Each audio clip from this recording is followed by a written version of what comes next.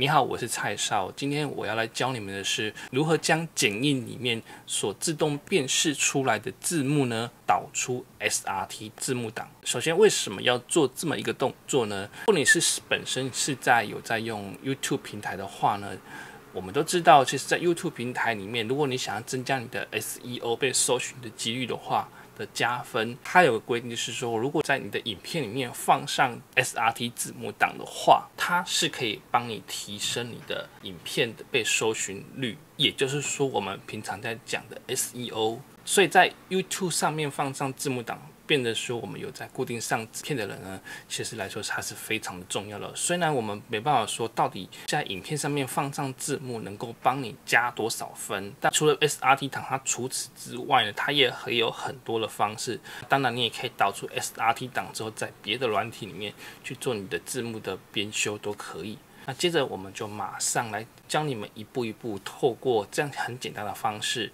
导出你的 SRT 档哦。那首先呢，我们先打开我们的剪映，然后将剪映的影片打开。这是我之前透过自动识别所变出示来的字幕。那目前呢就在这边。这时候我们就要要透过一个一个程序，然后将影片上的这些字幕导出 SRT 档出来。首先你要先看点一下你的影片这里，然后再点开，然后你要记住这个位置。有没有看到这里？这个圈圈，这个保存位置呢，要记住它的最后这个档名这里，我们要找到这个资料夹。所以首先呢，我们就先来到了桌面。第一步呢，我们先到使用者的电脑个人专属，就是在这个地方可以看到。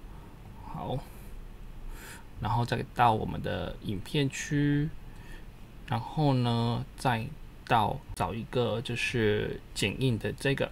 剪 Pro，找它的 User Data 这里，然后我们再去找这个 Project，然后我们就看到这个档案。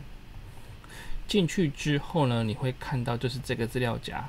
进来这个之前呢，我们要先把剪映给关掉，记住一定要先关掉哦。那这时候我们再回到这里，找一个档名叫做这个，点进去。然后你就会发现它这个有密密麻麻的字，这个东西你就不要管它，你只要做一个动作，就是点进去之后呢，把它全部圈选起来，然后复制，然后这个时候呢，再打开网页，打开网页来到这个网址，这个网址你会发现下面这里有一个格子栏，里面按一个清空，把刚刚所复制的字那些档名扣在这里贴上。然后之后按一个叫做生成 SRT 文件，有没有？大家注意看啊，这边就已经帮我们把字幕体呢导输出 SRT 了。那这时候只要按就选择这个项目保存到本地，那我们刚刚说影片的字幕呢就生成出来了。有没有看到？大家这边这样的教学有没有觉得非常的非常的简单？就是今天教学教你如何将剪映上你的自动辨识的字幕导出 SRT 档，在这边我再另做另外一个小小的教学，就字幕里面它的是简体字幕，因为我们在台湾嘛，我们要把它做成繁体的话呢，有一个步骤非常的简单，只要你把这里圈选之后呢，去按右键，然后到这个叫做叫做转换的位置，然后你们看到这个叫文字转为繁体字，一键下去就变繁体啦。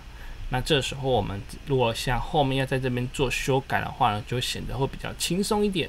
OK，那今天的教学到这边，希望今天的教学能够帮助到你们。啊，我们就下个影片见啦。啊，对了，觉得这个影片对你有帮助的话呢，别忘了帮他按赞、订阅、加分享、开启小铃铛。我们就下次教学影片见，拜拜。